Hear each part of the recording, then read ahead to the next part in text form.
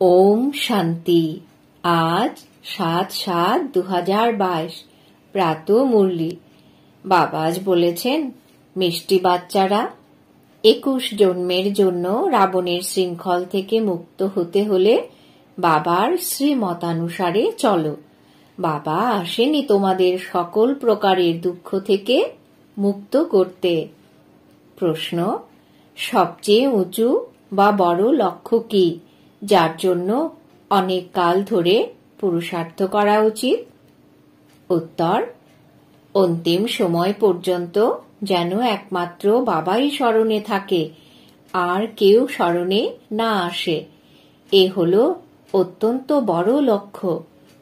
যদি কেউ স্মরণে আসে, তাহলে এই দুনিয়াতেই জন্ম নিতে হবে। সেই জন্য বহুকাল ধরে শিব বাবার স্মরণে থাকার অভ্যাস করো। আজকের দ্বিতীয় প্রশ্ন। অনেক বাচ্চাদের অবস্থা চলতে চলতে ডামাডোল, অর্থাৎ অস্থির হয়ে যায়। কেন?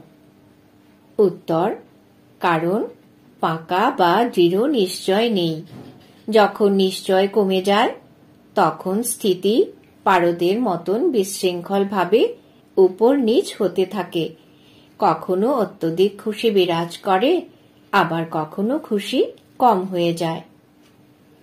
আজকের গীত ভোলানাথের থেকে অনুপম আর কেউ নেই। ওম শান্তি। বাচ্চারা জানে যে আমরা ভোলানাথ শিব বাবার সম্মুখে বসে রয়েছি আর ব্রহ্মামুখের দ্বারা এই সহজ রাজযোগও শিখছি। সমস্ত বেদ, গ্রন্থ, শাস্ত্র, উপনিষদের সার কথা বাবা বসে থেকে আমাদের বোঝান। এ কথা বাচ্চাদের বুদ্ধিতে বসে রয়েছে। চিত্রেও রয়েছে যে, ব্রহ্মার দ্বারা স্থাপনা।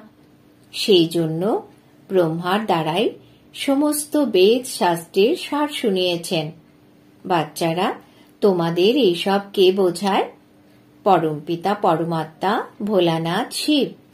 তিনি হলেন নিরাকার। সেই জন্য প্রতিটি কথা ব্রহ্মার দ্বারা বুঝিয়ে থাকেন। যাকে বোঝেন, বাবা বলে, যাকে বোঝান, সে আবার অন্যদের বোঝায়। যদি না বোঝাতে পারে, তবে নিশ্চয়ই সে নিজেই বোঝেনি। অর্থাৎ অবুঝ অবুঝকে বোঝানো হয়ে থাকে। বাবা সকলকেই বলেন, তোমরা হলে অবুঝ তোমরা আমাকে অর্থাৎ বাবাকে জানো কি? তোমরা ভারতবাসীরা উত্তরাধিকার নিয়েছিলে। সত্যযুগীয় স্বরাজ্য ছিল।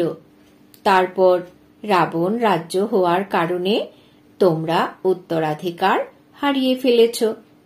রাবণ রাজ্যের কারণে তোমরা পতীত, অবোধ, কাঙাল হয়ে পড়েছ। সকলেই আসুরীয় মতানুসারেই চলতে থাকে। তোমরা বোঝো যে কল্প পূর্বে বাবা আমাদের সমজদার বানিয়েছিলেন। আমরা বিশ্বের মালিক হয়েছিলাম। এখন মায়ার গোলাম হয়ে গেছি। ধন সম্পদের গোলাম নয় মায়া রাবণের গোলাম। পাঁচ বিকারের শেকলে আমরা বাধা পড়ে রয়েছি। আর শোক বাটিকায় রয়েছি। অবশ্যই সমগ্র বিশ্বে রাবণের রাজ্য রয়েছে। বিশেষভাবে ভারতবাসীরা সাধারণভাবে সমগ্র দুনিয়ার সকলেই রাবণের শৃঙ্খলে আবদ্ধ হয়ে রয়েছে। সেই জন্যই যা কিছু করে, ভুলই করে থাকে।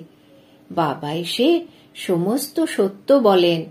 সেই জন্য পরমপিতা পরমাত্মাকে রাইটিয়াস বলা হবে। রাবণকে বলা হবে আনরাইটিয়াস। অর্ধেক কল্প ধরে চলে ন্যায় নীতির রাজ্য। অর্ধেক কল্প ধরে চলে। ন্যায় নীতিহীন রাজ্য। রাবণ রাজ্যকে অসত্য দুনিয়া বলা হয়ে থাকে। বাচ্চারা, তোমরাই জানো। জ্ঞান, সাগর পরমপিতা পরমাত্মা, শিব, আমাদের বোঝান, ব্রহ্মার দ্বারা। গায়নও আছে যে, সেকেন্ডে জীবন মুক্তি। এই রকম অনেকেই বলে, সেকেন্ডে জীবন মুক্তি। কিন্তু এই সময় সকলেই জীবন বন্ধনে রয়েছে, বিশেষ করে ভারত।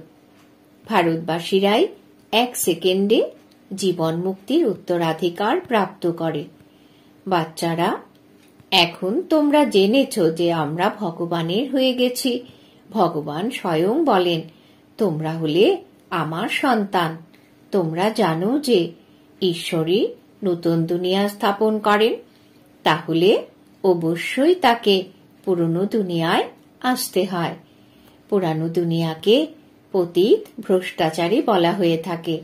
সকলেই ভগবানকে আহ্বান করে থাকে যে, আমাদের জীবনকে মুক্ত করো, দুঃখ থেকে মুক্ত করো। মানুষ জানে না যে, দুঃখের রাজ্য কখন এবং কে স্থাপন করে। যদিও শাস্ত্র অনেক পড়া রয়েছে।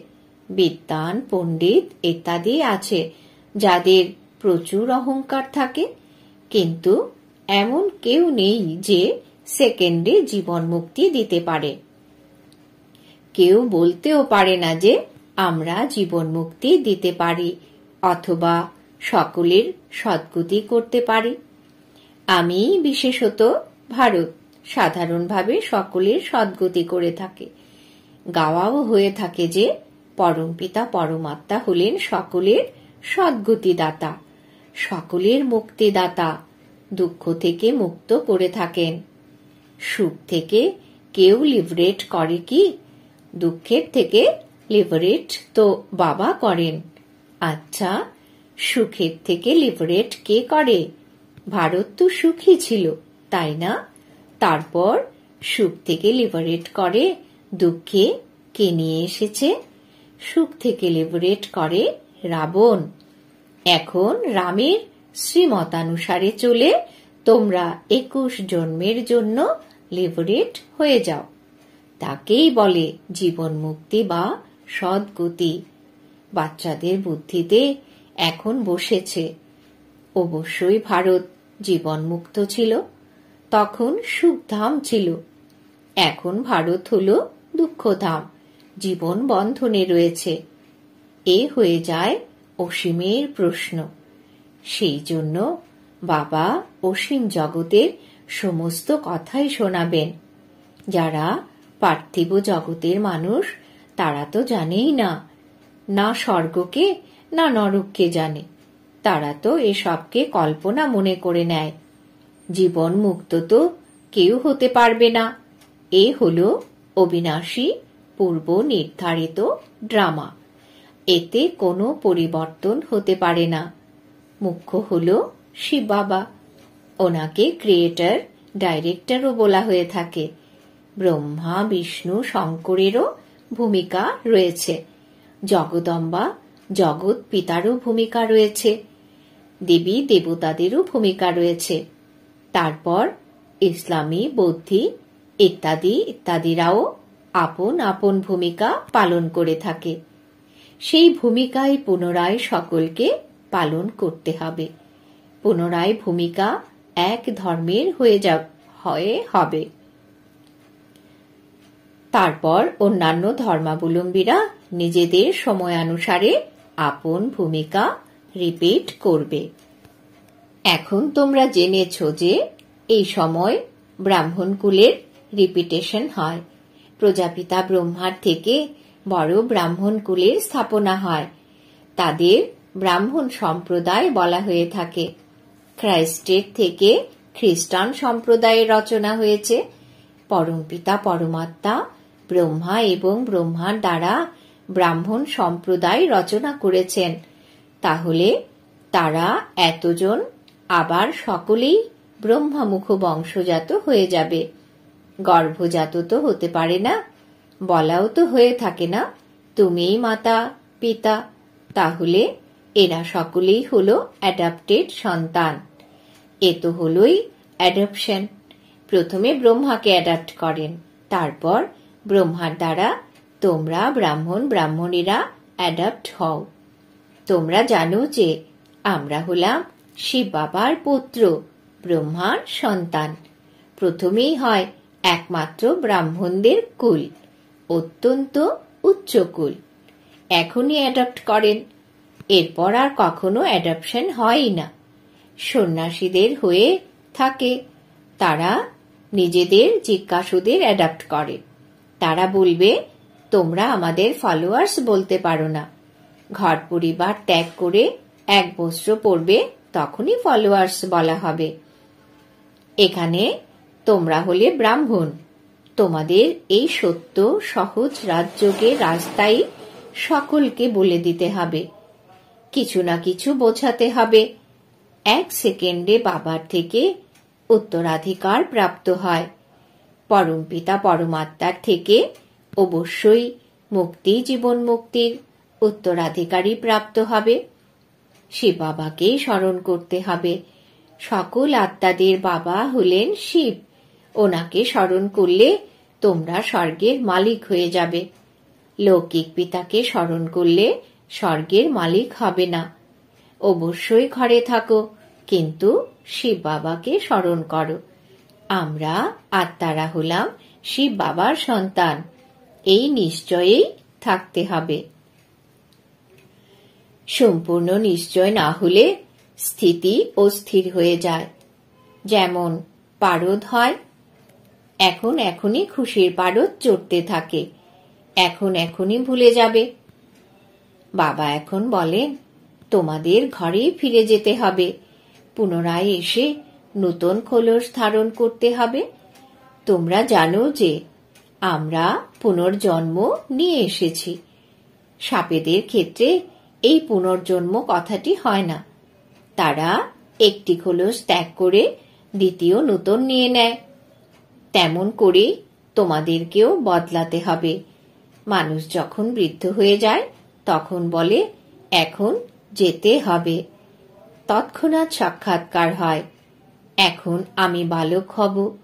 তাদের জানা আছে যে, এখন আমরা শরীর ত্যাগ করে বালক হব। তখন শতপ্রধান শরীর প্রাপ্ত হবে। পুরানো শরীরকে জরাগ্রস্ত বলা হয়ে থাকে। দুনিয়াও প্রথমে নূতন হয়, তারপর কলা কম হতে থাকে। সেই জন্য চার ভাগ রাখা হয়েছে। বলে থাকে যে, কল্পের আয়ু তো অতি দীর্ঘ। কল্পে চুরাশি লক্ষ জন্ম নিয়ে থাকে। তোমরা তো কল্পকে ছোট করে দিয়েছ। তারপর দুঃখ দেখো কত। লক্ষ লক্ষ বছর আয়ু বলায় মনে করে চুরাশি লক্ষ জন্ম হবে হয়তো। এটাই বাবা বসে বোঝান। এটা কখনো ভুলে যাওয়া উচিত নয়।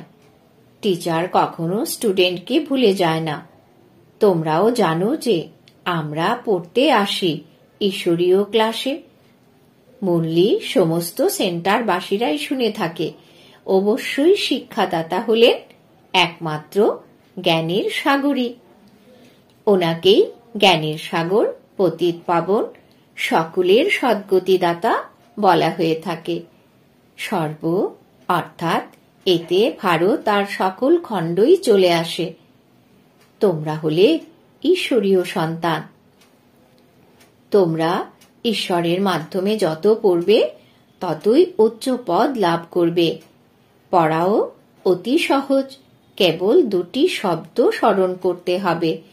তোমরা যে কাউকেই বলতে পারো যে পরমপিতা পরমাত্মা অসীম জগতের বাবাকে স্মরণ করো, তবেই তোমাদের স্বর্গে অসীমের সুখ প্রাপ্ত হবে। ব্যাস, অদ্বিতীয় বাবাকেই স্মরণ করো। অন্তিম সময়ে যদি দ্বিতীয় কেউ স্মরণে আসে, আর অন্তিম সময়ে যদি স্ত্রী স্মরণে আসে, তেমন জন্ম হয় হয়ে যাবে। বাবা বলেন লক্ষ্য অনেক উঁচু। সাবধানতা, সঙ্গে সিঁড়িতে বুঝে বুঝে চড়তে হবে। একে অপরকে সতর্ক করতে থাকতেই হবে। শিব বাবাকে স্মরণ করতে থাকো।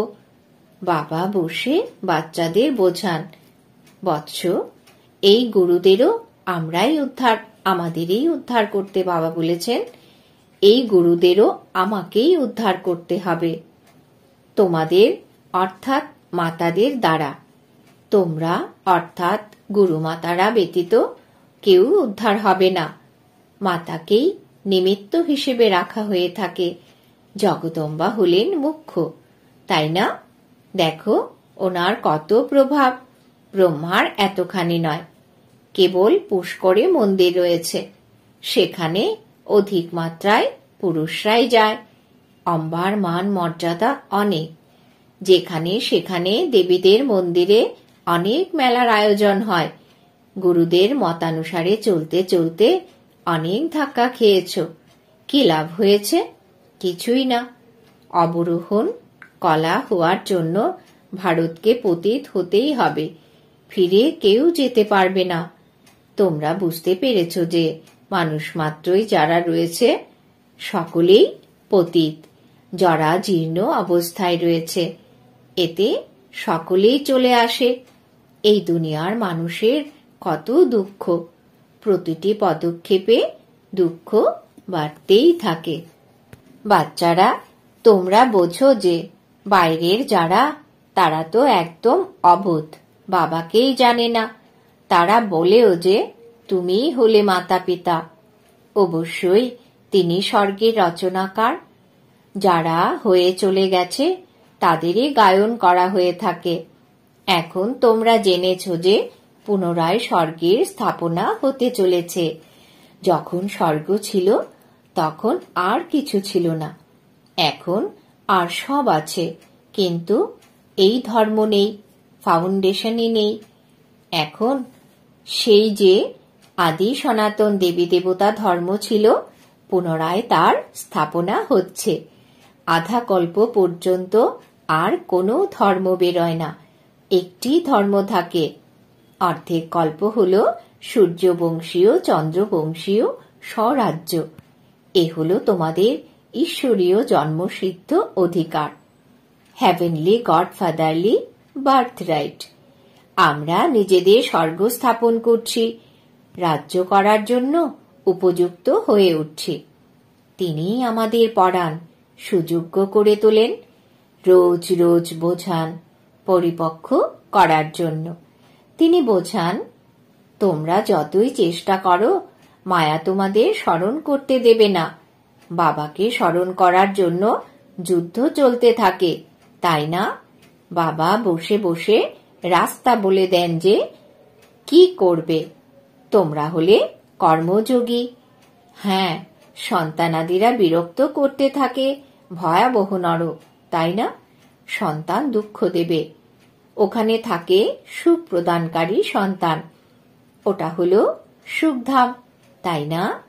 ওখানে এই রকম কোনো বস্তু থাকে না, যা দুঃখ দেয় বা যাতে মলিনতা আসে। এখানে তো কত দুঃখ আছে।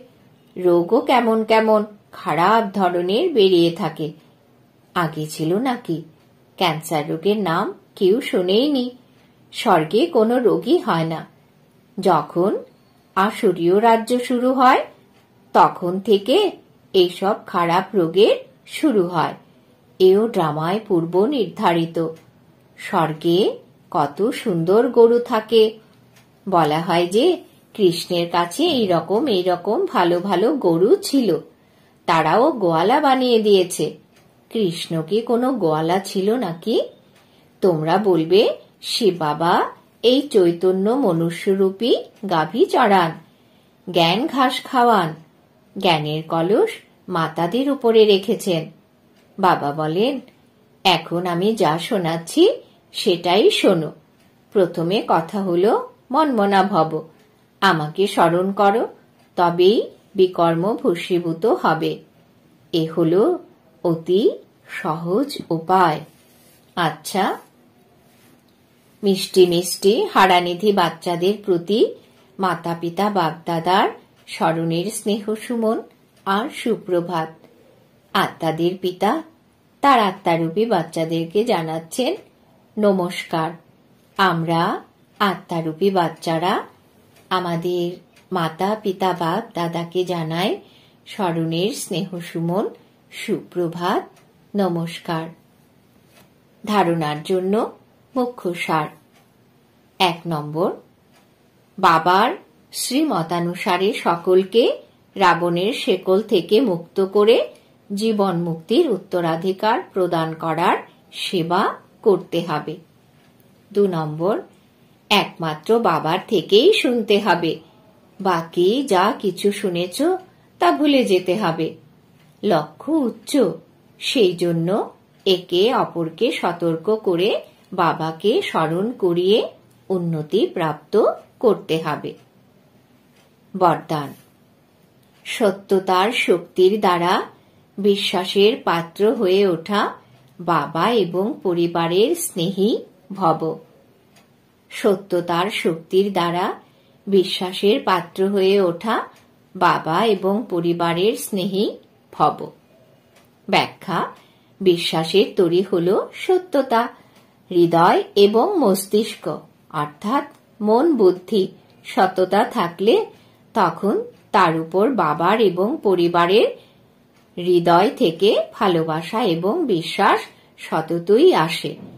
বিশ্বাসের কারণে সম্পূর্ণ অধিকার তাকে দিয়ে দেয়।